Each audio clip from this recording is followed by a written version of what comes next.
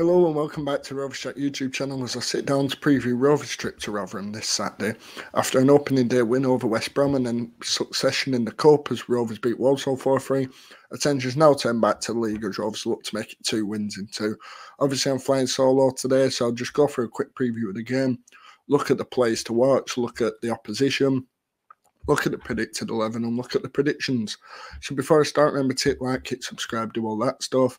And you can also check out the On the Other Side video that come out yesterday and also the Preferred XI video that went out at half two, sorry. So go and check that out as well as all the other content on the channel.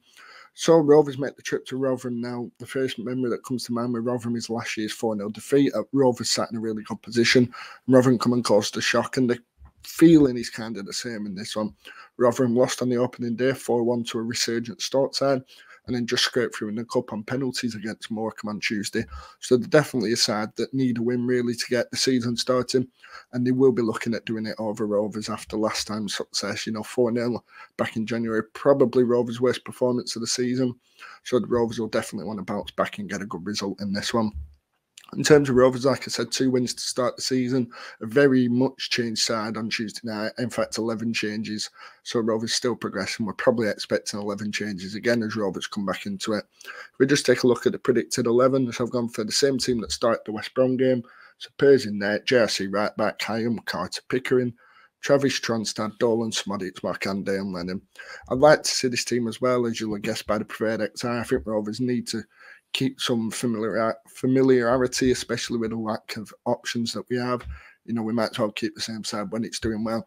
And I think the players deserve it. You know, Markanday had a few question marks over him, especially Ryan Hedges returning for this game. But Markanday made his impact the first game. He deserves that game time. And I'm glad to see him come on on Tuesday and keep himself ticking over actually in the few minutes that he got on Tuesday. Harry Leonard's going to leave, uh, lead the line. Sorry, Sam Gallagher's back, but it's expected to be on the bench. So we're hoping to see Leonard go again. And you know what? He deserves that chance. He was really good the first day. Should have probably had a hat trick, like we mentioned, but really positive performance from him. So I'm hoping to see Leonard involved again. And I imagine Jon Dahl will pick him. In terms of the bench, I'd like to see Zak Gilsenan come on as well. And I think he will after a really impressive performance Tuesday. I think he'll definitely be part of the travelling squad. Whether he's that 21st man that doesn't make the squad, I don't know but I hope he's involved because he's really impressive. Leo Wahlstedt will probably be on the bench as well following his move, so glad to see him around the Rovers squad for the first time. But I think that'll be what Jon Dahl will go for, so we'll just go over it again. It's Page, Jersey, Hyam Carter. Hyam and Carter obviously forming a brilliant partnership recently uh, Pickering left back, Travis Tronstad, Dolan Szmodics, Markanday, Leonard. You can also let us know down below the XI you think Rovers will use. And then, like I say, if you go and visit that preferred XI video, go and tell us uh, what you'd like to see Rovers do.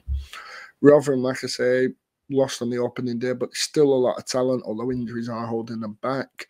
Grant Hall, Andre Green, and Ben Wiles are all in contention but have knocks, so it's unlikely they'll be raced, while Shane Ferguson, Jamie Lindsay, and Lee Peltier are all out. One player who will return, return for Rotherham is Cafu, not the Brazilian man. The Portuguese midfielder was sent off in their opening day defeat to Stoke. Very controversial red card as well. It should never have been. Uh, but he should be back after serving a suspension against Morecambe midweek. So he'll be a definitely back in the side for them. They are a side full of talent. Like I said last year, they shocked us in terms of how well they performed.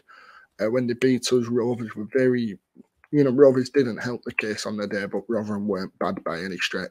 And although they lost the likes of Ben here this summer, they've still got a lot of talent, and it's one we've got to go into. And I think be prepared for it. You know, don't go in expecting two wins. Don't go in being disappointed if we get a draw. I personally take a draw, but I think Rovers can go and get a win in it. We'll come on to prediction soon, but you look at all the players that they've lost this summer. You know, Wes Harding, Benny, Richard Wood, kind of Washington players that have been around the club for quite a bit. So definitely you know, a lot of change there. But the likes of Fred Onyedinma coming in, who was at Luton Town, Cafu, Andre Green had a really good time as a trialist at Rotherham, and if he can be involved in the squad, he'll definitely add something to them.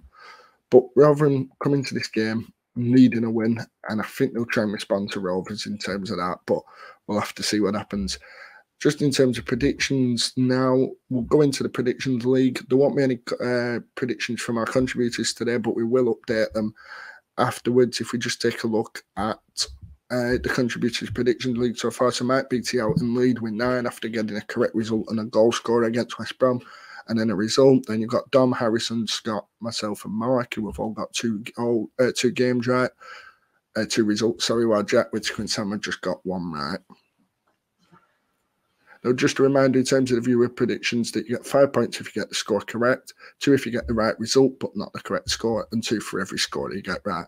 So we can see with the viewers' predictions that Daniel Seward and Simon Payne still lead the table on seven points. You've got Steve, Richard, Autumn, Carl, and Adam on four, and the rest on two. So definitely get your predictions down below and put your score as well to get bonus points.